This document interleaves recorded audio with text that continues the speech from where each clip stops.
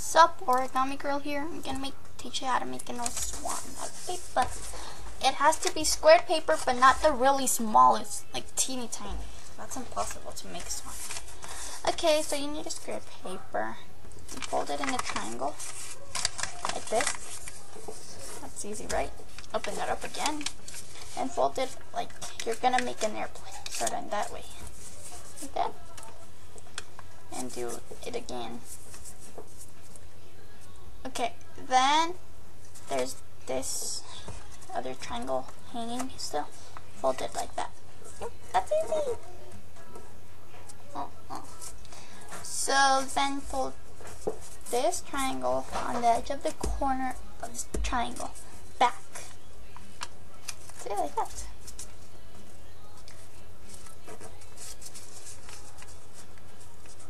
Then there's gonna be another triangle right here.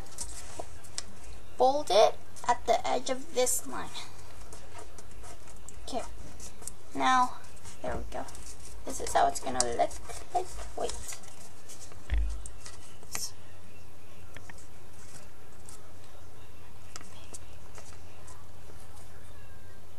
See, like that. It's you guys are getting the point now.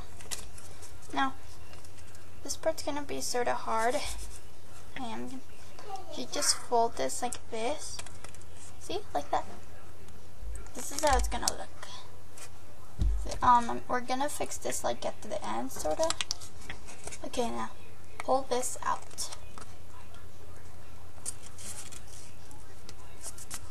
This. See? Okay. Now, this is what I usually do. Like, first I take the beak out.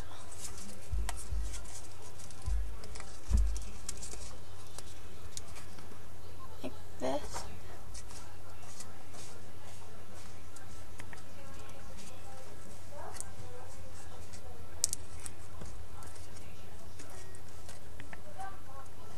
Sorry about the blurriness, but I'm gonna repeat it again.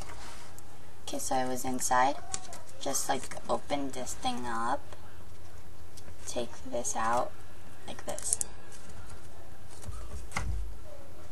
And it's like really light.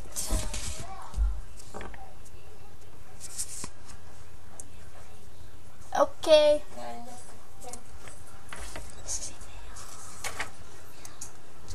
Okay. Then I'm gonna do this. So you have the swan head right here.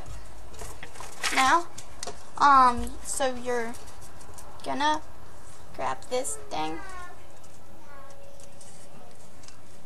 and like put it in here. This is what I usually do, but there's other ways too.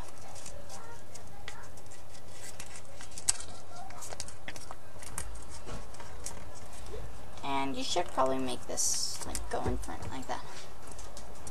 Okay. Just hold on a second.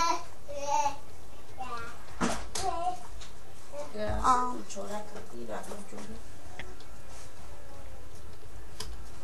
okay. So this is what I did. Yeah, you get it. Okay, now you're gonna the flaps down. That's simple as that. Sorry about the noise my mom and my brother were making. See, there you have your own swan. Well, thanks for watching. And that's my annoying brother making the noise. Thank you very much. See you later.